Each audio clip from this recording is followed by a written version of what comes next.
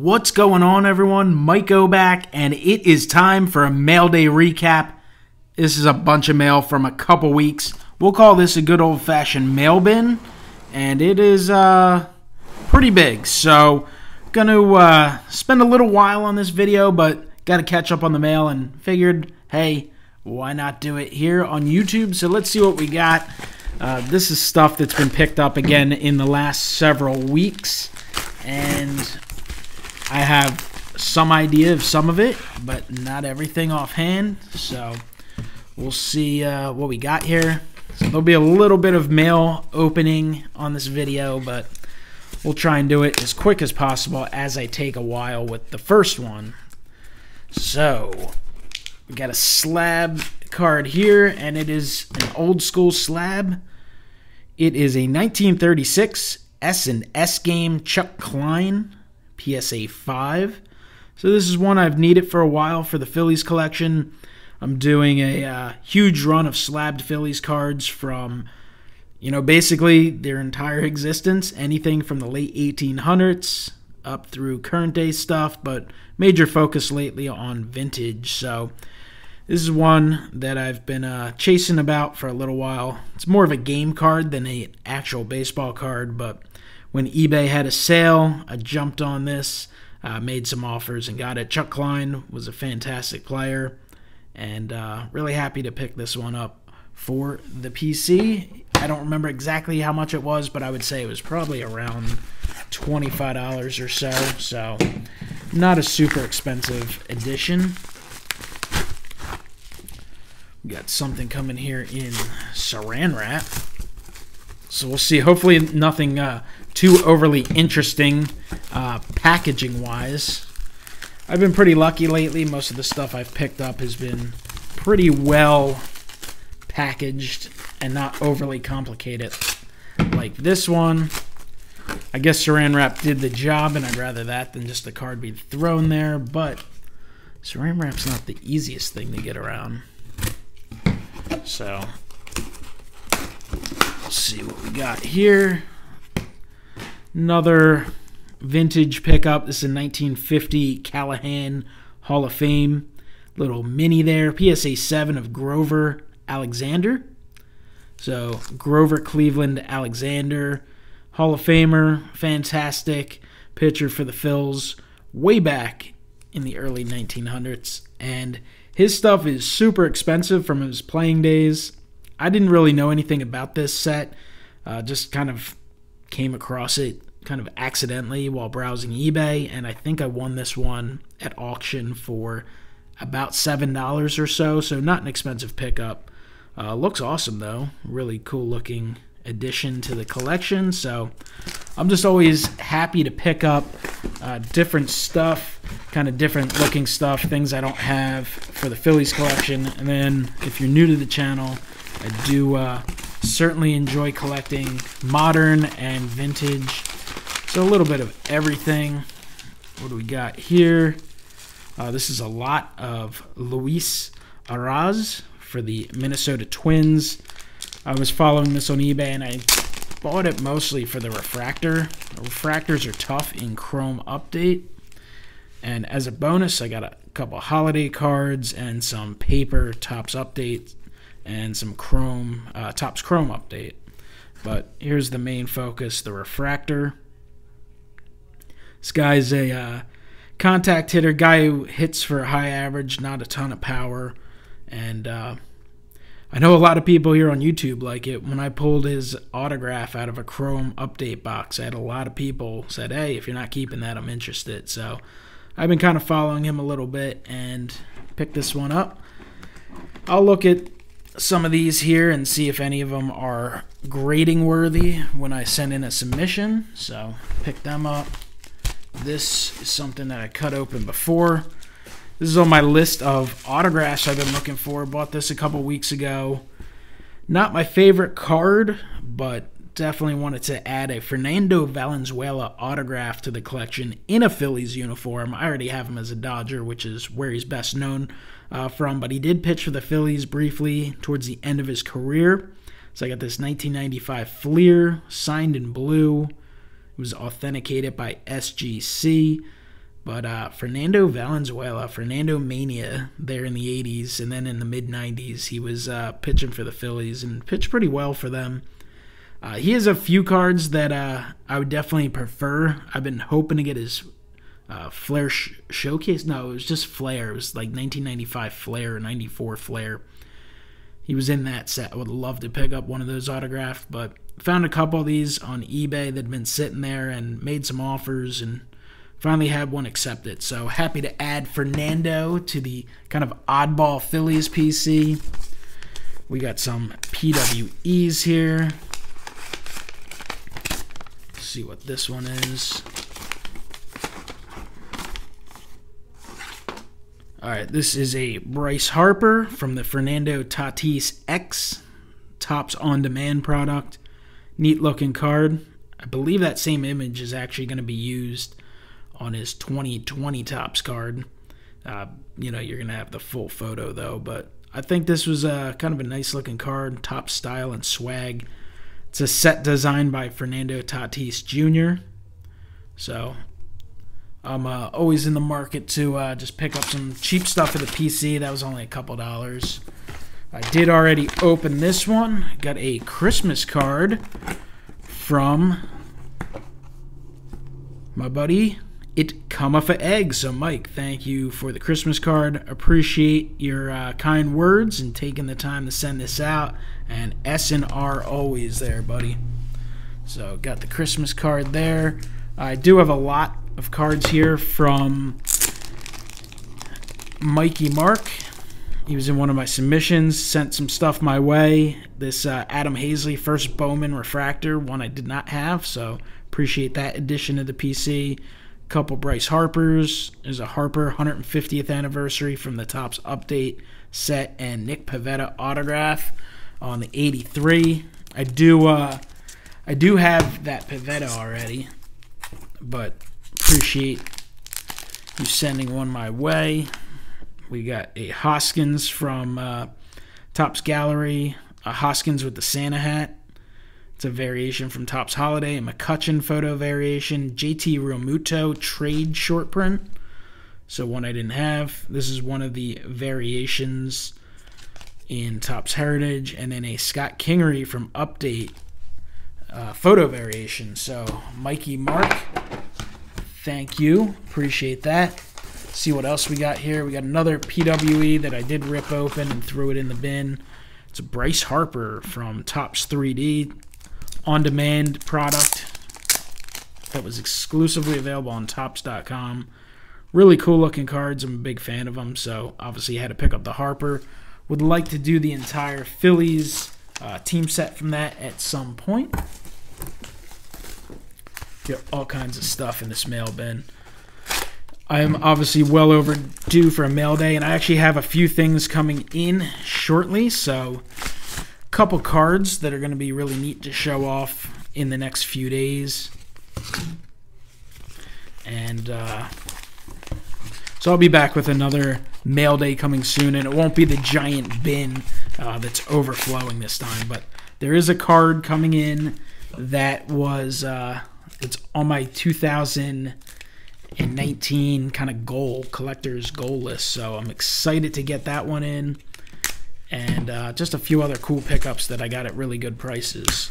So you can never uh, never go wrong when you kind of win something at a great price that you want for the PC, but you weren't necessarily looking for at the time. So here's a nice pre-war pickup. It's a blank back. And it is a 1916 M101 for Sporting News. Wilbur Good PSA 5.5. So you can see that sweet old school looking card, right fielder for the Philadelphia Nationals. That's why the old school uh, cards kind of designate teams. Nationals or Americans. So it's a neat card there. Happy to pick that one up. I did look up some stuff about Wilbur Good back when I was picking this up, and I don't remember a ton offhand. I think he was just kind of like a middle of the road player, someone who hit in the high 200s, maybe like 280. Not a tremendous amount of power, but always excited to pick up neat vintage stuff for the collection. This might even be three weeks worth of mail, maybe four weeks. I don't even specifically remember offhand. But I know it's been building up for a while, and it's probably not super smart to let your mail go long periods of time without checking it out, just in case you kind of got the wrong thing or had something missing. But it's kind of what happened. All right, we got a couple slabs here. These were eBay pickups, auction wins. Got a Gem Mint Bryce Harper from 2017 Topps Chrome. It's the Bowman then and now. I think I picked this card up for like three bucks. So it was kind of like, why not? And then I won this one as well. I was looking for something to add to combined shipping, so I picked up a refractor PSA Gem Mint 10 of Andrew Benintendi from 2017 Topps Chrome. Benintendi, still a really good player for the Red Sox. Didn't have a huge year offensively for Boston, so I think his stuff has cooled quite a bit in the hobby, but still a very good player. So I think he's going to be one of those guys who kind of goes down as a fan favorite type of guy. Probably not uh, an all time great or anything like that, but really good player who can help a team win. All right, we got a Another vintage pickup here. It's a 59 Topps Johnny Podres PSA 5. I think I bought this one by accident. I already have it in the collection. And I saw it at a good price, and I didn't look at my list, and I was like, uh, I think I have that once I kind of made it official and made the purchase. And then I looked, and yes, yes, I did. So I don't know how I didn't realize that, but it's all right. Got it at a decent price, so I'm not going to complain about that.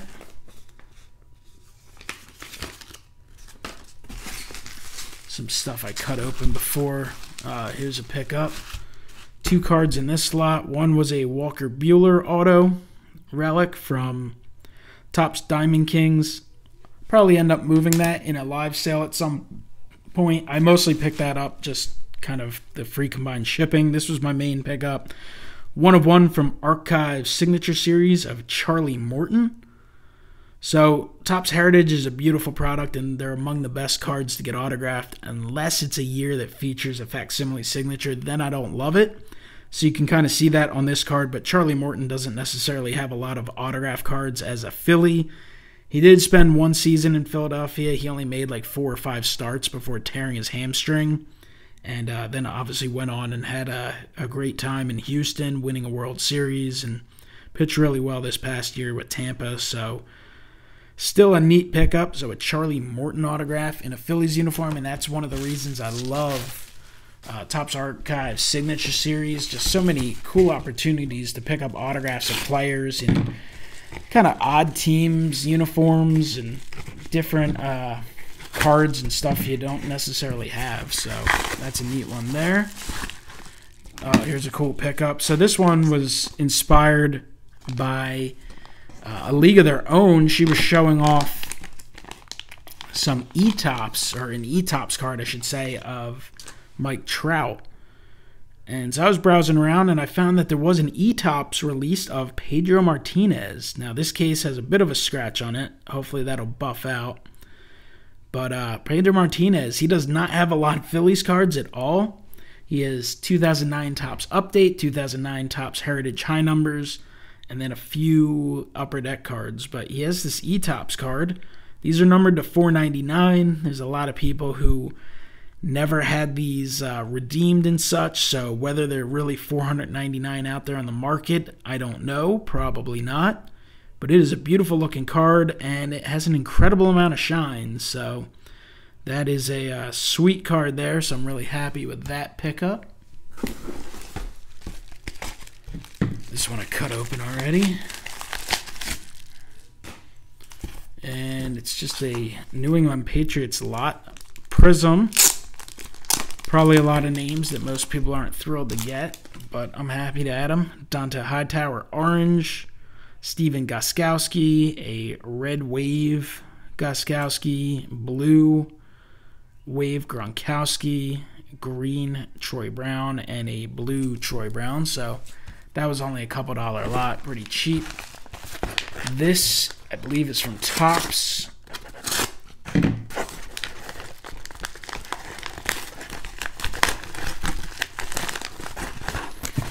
Sure some people love uh, the opening of mail and some people hate it. So if you hate it, I'm sorry. If you love it, don't expect it too often. I know this is the way Nolan Elite Code 3 used to do his mail days. All right, so this is from Topps, and this is an autographed relic of Gavin Lux. Picked this one up during the postseason. Youngest Dodgers player ever to homer in postseason, numbered to 99.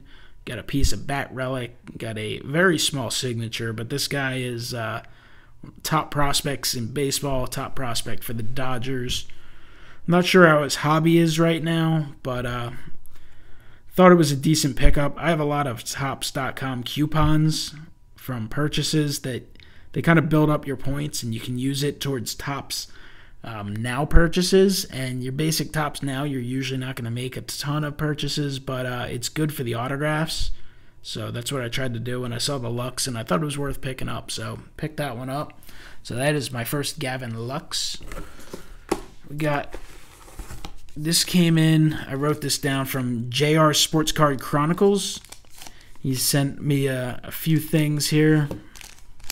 It's a button of Rhys Hoskins from Topps Archives, and then a Bryce Harper 150 years of professional baseball manufactured patch. So that's a neat one that I did not have. So thank you for that. This is going to be a lengthy video. It already is a lengthy video. We're over the 16 minute mark. We got a Ginter edition here, and it is Jose Canseco. Fan favorite Jose Canseco. It's on the 2018 Topps Allen and Ginter. It's from 2019 Archives Signature Series, numbered to 19. Pretty clean signature there, so I'm happy to add that. I do have a few Cansecos in the collection, but not a ton, and this is my first Allen and Ginter. His stuff so he has a lot of autographs and he's in a fair number of products. You can get his autographs at a pretty good price. But if it's a specialty card, something like an Allen and Ginter, or if it features him in an odd uniform, or if it's a certain refractor, his stuff can go at a pretty decent rates because there's so many Canseco collectors out there. So this is actually one of the cheaper Ginters I came across and was able to uh, snatch it up. So I'm happy to add that one to the collection. Got an empty envelope. Couple more. We're getting close to the end of the mail bin. Got this coming in. Uh, we got a few old school cards coming in here. These are from the Batters Box. Pretty solid website. Big selection of things you can pick up some oddball stuff from time to time. I actually made this purchase on Cyber Monday, one of my few Cyber Monday deals. Um, picked these up because they had a special, so I was able to add a few authentics, SGC authentics, 1909 to 11 American Caramel E91 Ed Grant. So an old school Philly, just authentic, beat up, has some marks to it, but to me still presents very well in the holder. Baseball caramels. So that's a cool one there. Love adding all these different types of old school things to the Phillies PC. Just so neat to see the lengthy history. And then we got this one that's super beat up 1911 George Close Candy Company E94 Hans Lobert. That one is super beat up, has some paper loss, and uh, a lot of staining and such, but it's alright. I'm fine with it. It's just another nice old school addition to the collection. So got a little bit of everything in this uh, in this mail bin. We've got vintage and pre-war and modern and autos. We've got PWEs. We got bubble mailers. All right, so this is Drew Bledsoe pickup, pickup for the Drew Bledsoe PC. I love the fact that he's in some products now. 2019 Prism. I don't know what you call these refractors, but they are magnificent. They look amazing. I guess they're laser prisms. So it's not numbered, but was able to pick that one up at a good price, plus either free shipping or cheap shipping. So awesome looking card there. Got another PWE.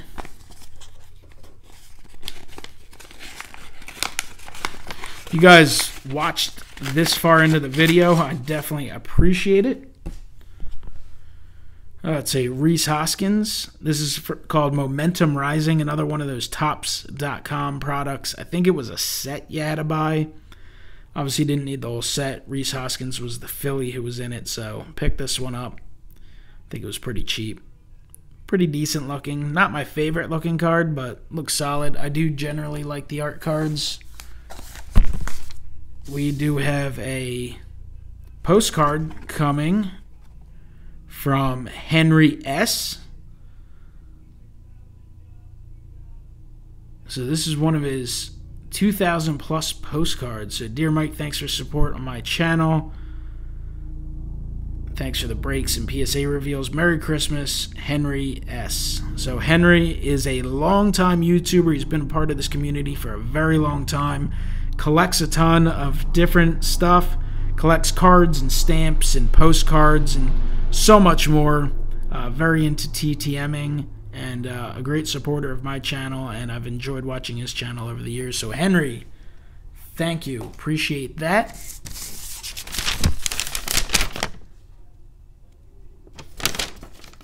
Marky Michaels, I just found your letter. I think I even said your name backwards before, so sorry about that. Got another slabbed card here. All right, here we go. This is a Rafael Devers graded card sent with a bunch of extra top loaders. So it's kind of difficult to see the card. There we go. 2018 Topps Chrome Rafael Devers rookie autograph PSA 10 Gem Mint. Slab's got some little surface scratches on it. I'll have to try and clean it up a little bit. Most of the light ones should come out, but uh, nice looking card. Devers is a fantastic player. Had a great, uh, great year, and kind of consider him to be one of those guys who a little bit undervalued in the hobby, so thought I would pick up that autograph. I like following his stuff. I don't think things singles have been as cheap this year as they have been in the past. There's definitely been a little bit of a market dip, but it hasn't been um, that crazy low. I'm sure there are some deals to be had, though, of course. And uh, I've let myself be outbid a number of times. So I'm not sure exactly what this is. I don't know what I already lost the envelope for it, but oh, okay, never mind. I know what this is. This is from uh, JT, I believe. Yeah, it's from JT Triple Crown 24. I picked up a few cards from him in his uh, fire sale. We got this X Fractor of Roy Halladay, from 2013 Finest, and I picked up this lot of Bryce Harper's. So they did a subset available at uh, Walmart in their uh, Topps update boxes, which I didn't buy any from Topps. And then uh, also this Vladimir Guerrero Jr. from Topps Gallery. Nice looking card. And I believe he threw this one in. It's a Ryan Howard National League 2006 Silver Slugger award card. And that is super thick. So that is a nice one there. So that is from JT. And that is the mail day. I appreciate everyone for watching. You got a little trash to the left, cards stacked up to the right, and a whole lot more trash thrown down on the ground, which I have to clean up. So I'm going to go ahead and do that now. Appreciate your comments, your likes, and anything you have to say. And I will talk to you next time. Have a great one.